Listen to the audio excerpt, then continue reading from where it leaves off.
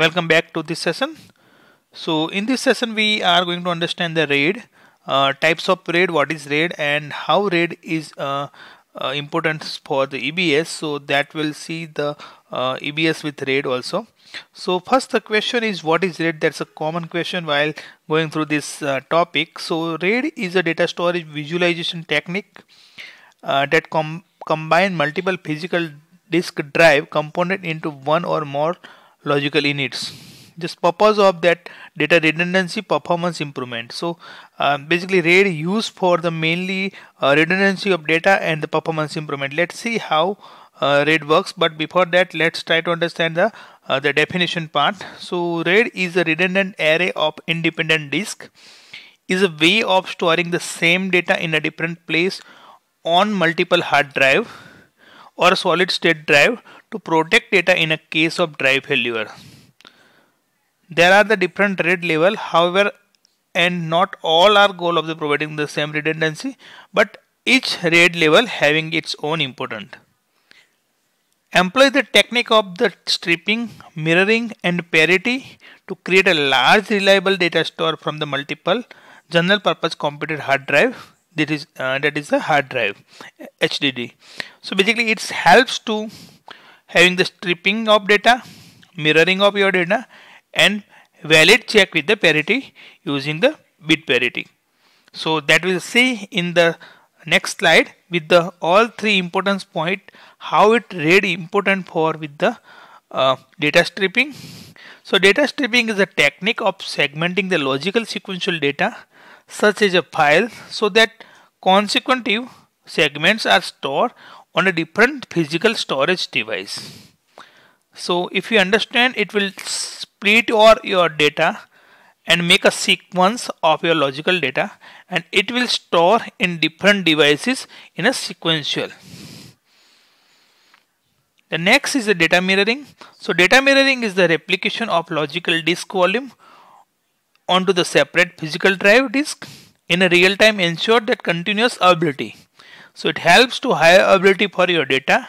A mirror volume is a complete logical representation of your separate volume copies. So basically it's simply uh, a, uh, your the copy of one drive to another and it's make your higher availability for your data. The third one is the parity bit.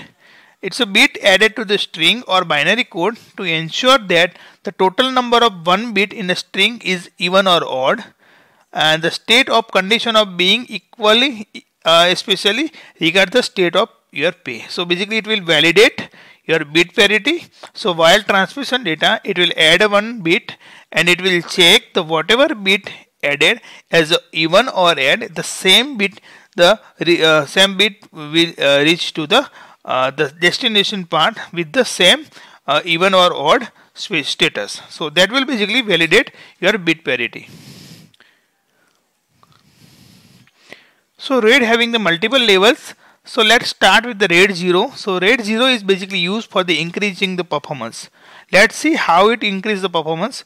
So RAID 0 basically works the simply representation of the logical splitting of your data and it will save uh, in a sequence with the two or multiple drives. So here we have taken the two uh, disk here that's uh, disk 1 and disk 2 and it will store the data in a sequence A1 in a disk 1 A2 in a disk 2 then again A3 in a disk 1 then A4 is a disk 2 so this is the way it will split your data and it will store in the multiple storage disk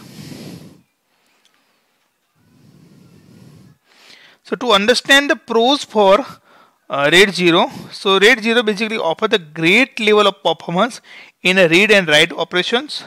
There is a no override of the parity control. So parity check will not part of the RAID 0 and all your storage capacity use here. So your storage having the two different disk drive and it will store the data in a sequential with the two drive. So it will your, use all your storage.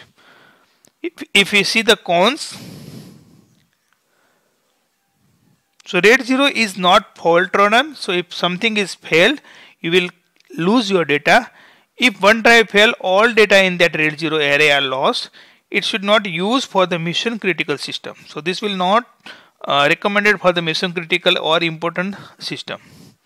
let's move further for the RAID 1 RAID 1 is uh, increase the fault tolerance let's see how it increase the fault tolerance so RAID 1 if you see the visualization it will simply make a replica of disk 1 to disk 2 so all data of disk 1 will replication in the disk 2 so th there is a simply replication of your all data in the two disk drive. So if you see the pros for the RAID 1 so RAID 1 offers the excellent read and write speed. In case of drive fail data do not have the rebuild they just have to the copy to from or replace the drive. So in case of your uh, failure of any disk drive still your copy would be there. So the backup of your data and the redundancy of data is there. All storage capacity is used. So that's the pros. If you see the cons here so effectively storage capacity is only half of your total drive capacity yeah so you have the two drive. For example one drive is 10 GB and second drive is another 10 GB but you can use the at a high level the 10 GB only. The rest of 10 GB is your replica of your data. So the failed drive can only the replace after powering down the computer is attached to. So that's again uh, the cons. So if your failed your drive has been failed in that case uh, you can replace only after powering down your computer to attach so you have to down your computer then you can attach. For multiple access this may not be good. So that's correct if you want to multiple access it will reduce your uh, uh, it will reduce your uh, sorry it will add your latency over here if you connect the multiple access over here. So how EBS uh, is important with the RAID so we can take the same advantage in EBS. So it will basically give the supports by OS so EBS is also supported. So EBS is already redundant storage. So we can copy the replica in the multiple AZ but what if you want to increase the IOPS like uh, 10 lakhs? Right? So there is a limitation of IOPS and if you want to increase so what's the way? Even EBS is uh, make the multiple replication in AZ but still you don't get the high availability of your data. So that is important here why RAID is required in EBS. What if you want to mirror of your EBS volume? So there is no uh, uh, supports for the AWS that EBS can be have a volume with the mirroring. So RAID is possible uh, as long as you can OS support. So it's continuous supports by OS. So RAID you can configure anytime with the OS support. So RAID supports in EBS that's a RAID 0, RAID 1 and RAID 5 and RAID 6 is not recommended for the EBS. You can see the documentation of EBS. Okay, so how the RAID uh, 0 EBS uh, basically used, let's see the example here. So same the instance having the two volume, volume 1 and volume 2 and we can configure the OS level RAID 0. So if we see the pros for uh, RAID 0, it is the same as the previous. So you can get the throughput and no overlap and also capacity is used uh, cons is the same uh, which is the RAID 0 and one more point here with the RAID 0 so there is a two your uh, volume is. So one is the 10 gig EBS volume A and the 10 gig EBS volume B and both having the 2000 IOPS support. So in the RAID 0 you will get the 20 GB of storage and the 4000 IOPS at a total. So it, it will increase your IOPS support over here in the RAID 0. So this will basically increase your performance support. Whereas, so if you see the RAID 1 in EBS, so this will basically increase your fault tolerance. So it gives the high availability for your data so pros is the same which we which actually having the RAID 1 so, so uh, that's the RAID 1 offer the uh, excellent read and write speed.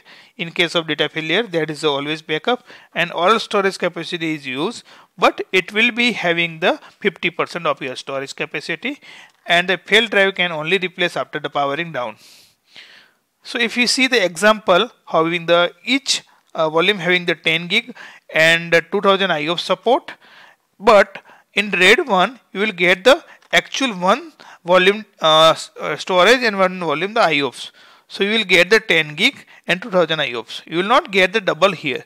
So this will increase the fault tolerance and RAID 0 is will increase your performance. That's the two things.